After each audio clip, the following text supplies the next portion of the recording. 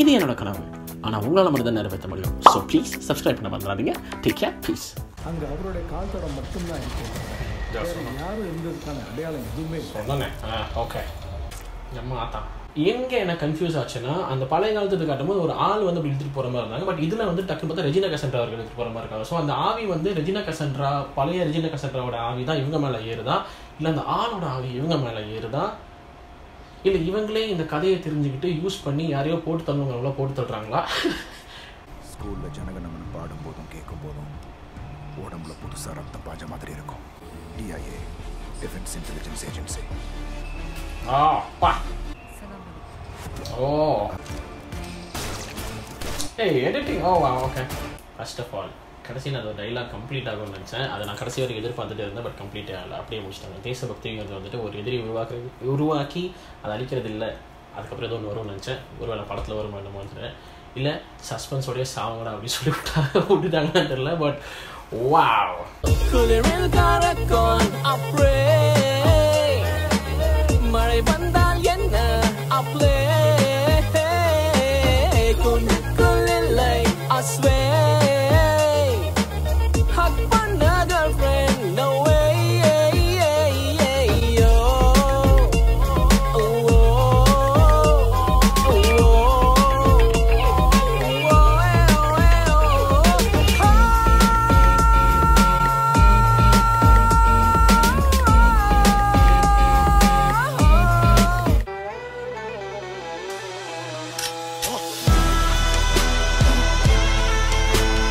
வணக்கம் நான் ஷோப் ஆல்சோ நைஸ் பிசி வரும் also nice history of so welcome back to my channel so இன்னைக்கு நம்ம ஒரு two in one reaction video பண்ண போகிறோம் அப்படின்னா என்னன்னு கேட்டிங்கன்னா ரெண்டு வீடியோக்கு ரியாக்ட் பண்ண போகிறோம் ரெண்டு வீடியோஸ் என்னென்னு கேட்டிங்கன்னா ஃபர்ஸ்ட் சூர்பனகை ஒஃபிஷியல் ட்ரெய்லர் அப்புறம் பார்டரோட ஒஃபிஷியல் ட்ரெய்லர் சூர்பனகை அப்படிங்கிறது வந்து ரெஜினா கேசன்ட்ரா அவர்கள் வந்து நடிச்சிருக்காங்க. அவங்க ஒரு ஆர்கியாலஜிஸ்டாக நடிச்சிருக்காங்க அப்படின்னு தமிழ் ஏதோ ட்ரான்ஸ்லேஷன் பார்த்தனே. தொல் பொருள் ஆய்வாளர். தப்பாக இருந்தால் மன்னிச்சுக்கோங்க பட் கூகுள் என்ன சொல்லிச்சோ அதை நான் சொல்கிறேன் பட் அது அதை வச்சிருக்காங்க பட் நான் போஸ்டர் பார்க்கும்போது வந்து ஏதோ தோண்டி பட்டிருக்க மாதிரி இருந்தாங்க. பட் இதில் இப்போ டக்குன்னு தமிழில் பார்த்தா வேற மாதிரி கம்ப்ளீட்லி வேற மாதிரி ஒரு ராணி கெட்டப்ல மாதிரி இருக்காங்க. அநேகமாக ஒரு பேய் மாதிரி தான் ஒரு சின்ன பில்டப் போகிறது என்ன ஒன்றும் தெரியல ஐடியா இல்லை. ஸோ பார்த்துலாம் சொல்கிறேன் but I that border I'm super duper excited because Arun Vijay அவர்கள் வேற லீக்ல போயிட்டுருக்காரு.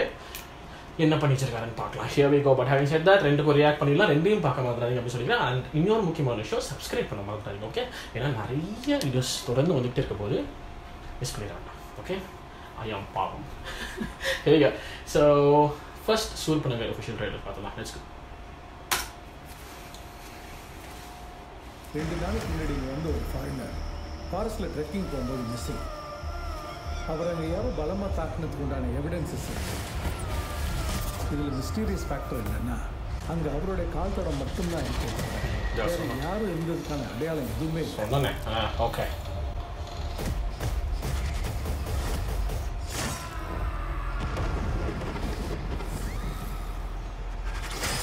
நம்ம ஆத்தா I'm an archaeologist. போலீஸ் இன்வெஸ்டிகேஷனுக்கு நம்ம என்ன ஹெல்ப் பண்ணோம் சார் பல வருஷங்களுக்கு முன்னால் நடந்த ஒரு சம்பவம் அதே மாதிரி நடக்குதுன்னா அதை நம்பாம இருக்க முடியல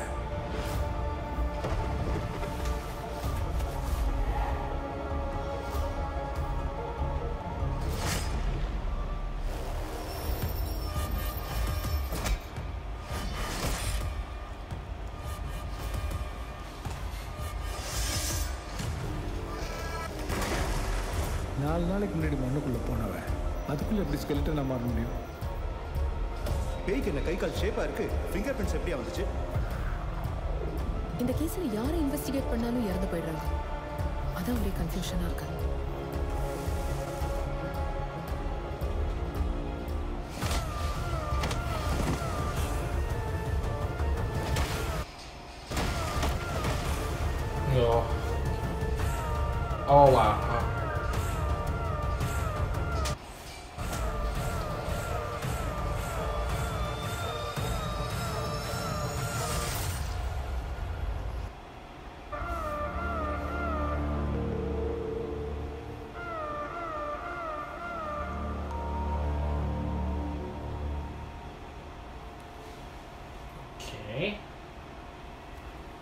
Interesting okay first of all history repeats itself அப்படின்னு சொல்லுவாங்க. அதாவது நடக்கிற விஷயம் ஏற்கனவே நடந்த விஷயங்கள் மறுபடியும் அதே மாதிரி நடக்கும்போது தான் சில சஸ்பிஷன்ஸ் ஆரம்பிக்கும். அண்ட் தென் அதனால் ரிசர்ச் ஆரம்பிக்கப்படுதா? இல்லை ரிசர்ச் செய்ய போகிற இடத்துல ஏதோ ஒன்று கிளப்பி விட்டதுனால தான் இந்த இன்சிடென்ட்ஸ் ரிப்பீட் ஆகுதாங்கிறது ஒரு குழப்பமாக இருக்குது பட் என்னமோ ஒன்று பண்ணி விட்டுறாங்க.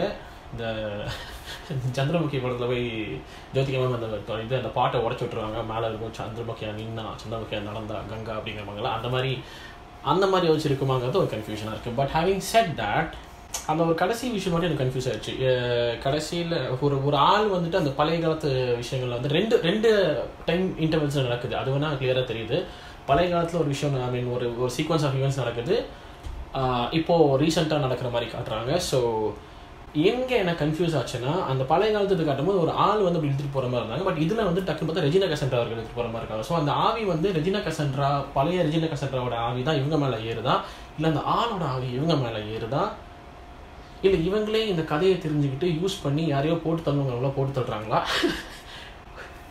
ஏன் இப்படியெல்லாம் இல்லைங்கம்மா தோணுது? பேசிக்கலாக வந்துட்டு கன்ஃபியூஸ் ஆயிடுச்சு. பிகாஸ் தட்ஸ் தட்ஸ் பெரிய கன்ஃபியூஷன் இல்லை பட் ஆனால் ஒரு குட்டி கன்ஃபியூஷன் தான் இருக்குது. அந்த கடைசி விஷயம் மொத்தமாக டிஸ் பண்ணி விட்டுருச்சு. எனக்கு என்ன ஸ்ட்ரைட்டாகவே தோணிட்டு இருந்துச்சுன்னா பழைய ரஜினா கேசன்றவர்கள் ப்ராப்ளி கொலை செய்யப்பட்டிருக்கலாம் இல்லை ஏதோ ஒரு மாதிரி ஹார்ம் பண்ணி கொல்லப்பட்டிருக்கலாம். அவங்க வந்துட்டு இப்போது பல ஜென்மங்களை கழிச்சு இப்படி பிறந்திருக்காங்க அண்ட் தென் அந்த ரீகால் ஆகும்ல அந்த மாதிரிலாம் அந்த மாதிரி நடக்குது இருந்துச்சு பட் அந்த அந்த கடைசி இழுத்துட்டு போகிற விஷயம் எனக்கு கன்ஃபியூஸ் பண்ணி விட்டுருச்சு. So clearly something very interesting ரெண்டு டைம் இன்டர்வல்ஸ் நடக்குது. ஸோ அந்த பழைய பழைய வந்து விஷுவல்ஸ் காட்டும்போது அவங்க அவங்க வே ஆஃப் ட்ரெஸ்ஸிங் அந்த டோனாலிட்டி எல்லாமே சூப்பராக இருந்துச்சு. அது எனக்கு ரொம்ப பிடிச்சிது. அண்ட் uh, டக்குன்னு அப்படி இங்கே மாறும்போது இந்த திங்ஸ் ஆர் ஹேப்பிங் எனக்கு ஒரு பர்டிகுலர் ஷாட் அந்த நான் திரும்ப அந்த uh, என்னது? அந்த சி அது என்னது? அந்த கொடை அந்த கொடைக்கு வெளியே அப்படி நடந்து வந்தாங்க. அந்த ஷாட் சூப்பராக இருந்துச்சு. ஓவராலாக very interesting very intriguing curiosity create பண்ணி என்னவா இருக்கும்னு சொல்லிட்டு பார்க்குறக்கு so I think this will be a very very good film for கெல்ஜி I mean film for Regina Cassandra அவர்கள் அப்படின்னு தோணுது. அண்ட் சாம் சிஎஸ் அவரோட மியூசிக்கும் நல்லா பக்கபலமாக இருக்குது so I think it will be a really good one to watch தியேட்டர்ஸில் வந்து தான் நினைக்கிறேன். மோஸ்ட்லி வந்துடும் நினைக்கிறேன் தியேட்டர்ஸில் தான் ஹை சேட் தட் அடுத்த வீடியோவுக்கு போயிடுவோம். நம்மளாலே பார்த்துருவோம். பார்டர் ஸோ இவர் ஆஸ் ஐ சைடு வேறு லீங்கில் போயிடும் இதுலேயும் ரெஜினா கேசன்ட்ரா அடேங்கப்பா. ஓ ஓகே இது நான் இது எனக்கு க்ளூவே இல்லை. ஓகே வா ஸோ டூ இன் ஒன்க்கு இன்னும் ஆப்ட் ஆயிடுச்சு. ரீனா கசன்ட்ரா நடிச்ச மூணு இரண்டு படங்களுக்கு ரியாக்ட் பண்ணுறோம் அதில் ஒன்றில் வந்து அருண் விஜய் அவர்கள் நம்மால் ஹீரோ நடிக்கிறாரு. But hi sir let's do it ரொம்ப பேசுகிறேன் ஹீரோ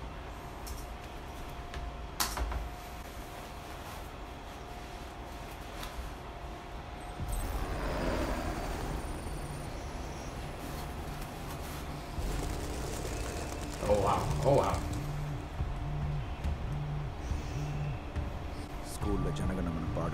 கேட்கும் போதும் உடம்புல புதுசாக ரத்தம் பாஞ்ச மாதிரி இருக்கும்.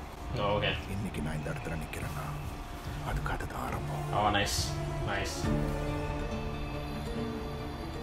Aravind Chandrasekhar Delhi regimentation DIA defence intelligence agency ஆ பா ஒரு சின்ன யூகத்திலேருந்து ஆரம்பிக்கிறது தான் எங்கள் டிபார்ட்மெண்ட்டோட வேலை.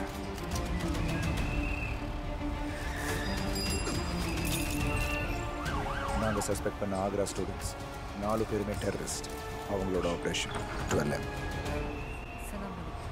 ஓ அவங்க கும்பிடுற அல்லாவுக்கு தெரியும் எது சரின்னு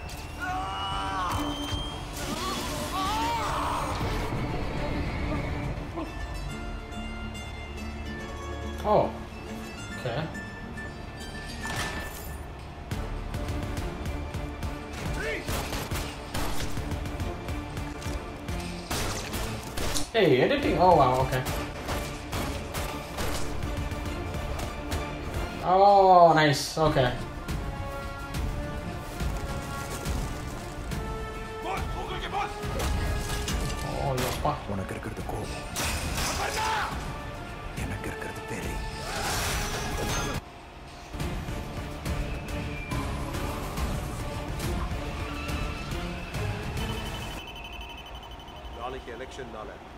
No more.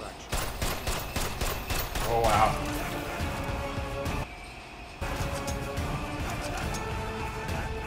தேசபக்தின்றத நம்ம தப்பாக சொல்லி கொடுத்துட்ருக்கோம். ஒரு எதிரியை உருவாக்கி அவனை அழிக்கிறது தேசபக்தி இல்லை. ஓ.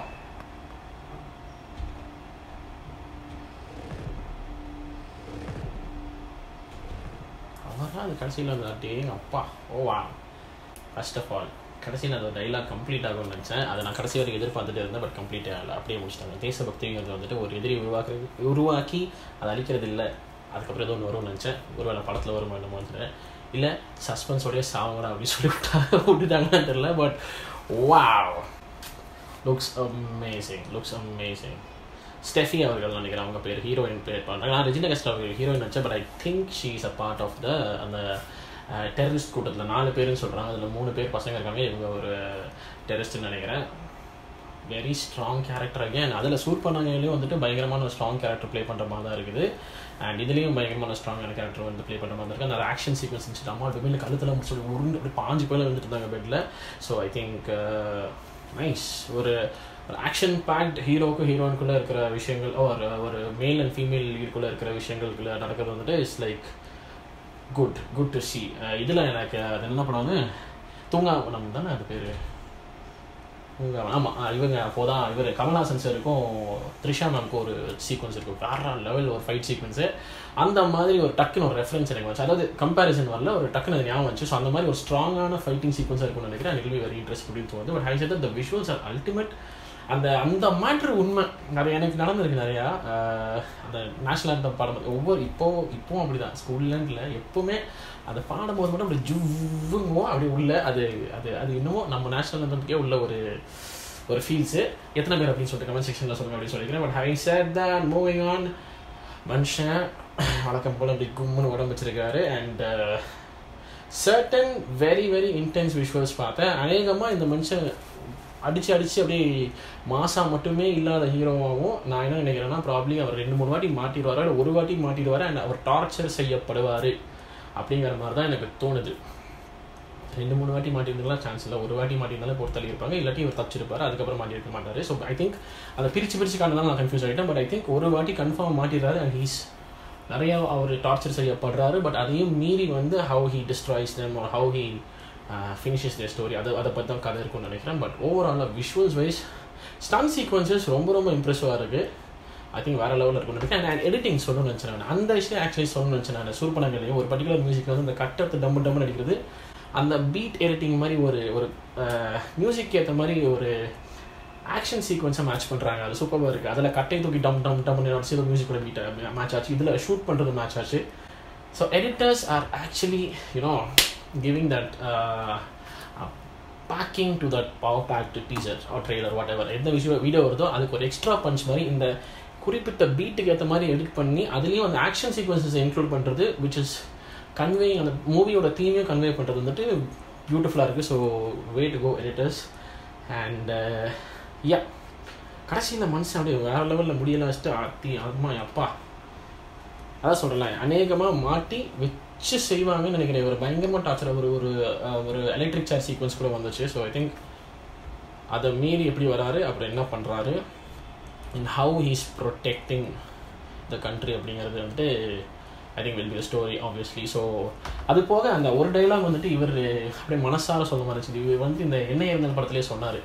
அதை ஓடும் போது வந்துட்டு இவ்வளோ நேரம் ஓடு ஓடு வெறிய லிட்டரலி அவர் லைஃப்பையும் மென்ஷன் பண்ணிட்டு ஓடினார்? அப்படிங்கிற மாதிரி சொன்னார். அதே மாதிரி தான் இந்த இந்த படத்தில் ஒரு படிக்கிற டைலாக் வருது.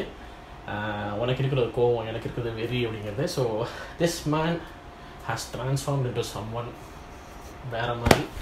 So wow looking forward looking forward ரெண்டும் நல்லா இருக்கும் படம் அப்படின்னு தோணுது. பட் ஹை சேர்த்து உங்கள் தாட்ஸ் என்ன? இந்த ரெண்டு ட்ரெயிலர்ஸ் பற்றியும் சொல்லிட்டு கமெண்ட் செக்ஷனில் சொல்லுங்கள் சொல்லிட்டு இந்த வீடியோ முடிச்சுக்கலாம். பார்த்துக்கு ரொம்ப ரொம்ப நன்றி. இது என்னோட reaction for Soorpanagai trailer and Arun Vijay in border trailer and yeah I'm done thank you so much உங்கள் ரிவ்யூஸ் உங்கள் ஃபீட்பேக் என்னன்னு சொல்லிட்டு கமெண்ட் செக்ஷனில் சொல்லுங்க. அப்படின்னு சொல்லிட்டு இந்த வீடியோ முடிச்சுக்கலாம் மறக்காம சேனலுக்கு சப்ஸ்கிரைப் பண்ணி ஸ்டே டியூண்டாக இருங்க. நிறைய வீடியோஸ் கிரியேட் பண்ணிட்டு இருக்கேன். எல்லா லாங்குவேஜ் கிரியேட் பண்ணிருக்கேன் அண்ட் அதை தாண்டி நிறைய என்டர்டைன்மெண்ட் ஃபன் ஃபேக்டர்ஸ் இருக்குது comedy sketch dance cookery show நிறைய நிறைய சாங்ஸு கா ஷார்ட் ஃபிலிம்ஸ் எல்லாமே பிளேலிஸ்ட் இருக்குது பாருங்க அப்படின்னு சொல்லிட்டு இந்த வீடியோ முடிச்சுக்கலாம் பார்த்ததுக்கு ரொம்ப ரொம்ப நன்றி. அடுத்த வீடியோவில் சந்திக்கிறதுக்கும் this is show signing off take care and peace